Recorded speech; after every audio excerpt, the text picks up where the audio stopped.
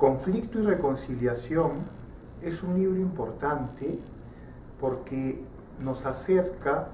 en una dimensión profunda a la complejidad de las relaciones entre el Perú y Chile y porque busca al final de ese complejo camino el resultado de la reconciliación entre los dos países. Conflicto y reconciliación se dirige a todos los públicos porque compila una serie de artículos periodísticos, decenas de artículos periodísticos que escribí sobre la guerra del Pacífico, sobre la reconciliación con Chile y sobre el conflicto o el litigio de la Haya. El lenguaje entonces es simple, pero el libro además se hace muy entretenido porque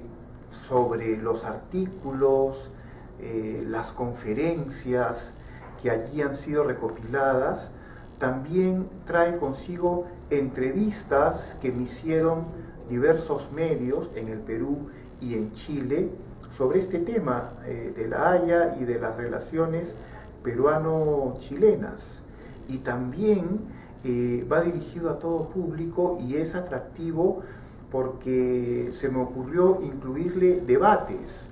debates que sostuve con académicos chilenos y que han tenido a, bien autorizar la publicación de sus artículos, de, sus réplicas a mis artículos, y otros debates inclusive más coloquiales, de pronto con foristas eh, en, mi blog, en, el que trato la problemática peruano-chilena, pero estos foristas, eh, uno de ellos eh, chileno también, nos permiten un aterrizaje a lo coloquial, un aterrizaje a lo cotidiano, un aterrizaje a cómo ve la cuestión peruano-chilena el ciudadano de a pie. Entonces, con el libro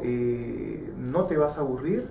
el libro es para todo público, el libro es sencillo, pero a la vez nos va a permitir acercarnos con mucha profundidad a la complejidad de las relaciones peruano-chilenas y dejando al final un halo de esperanza para que estas relaciones eh, sean mejores y sean de amistad y de reconciliación en un futuro próximo.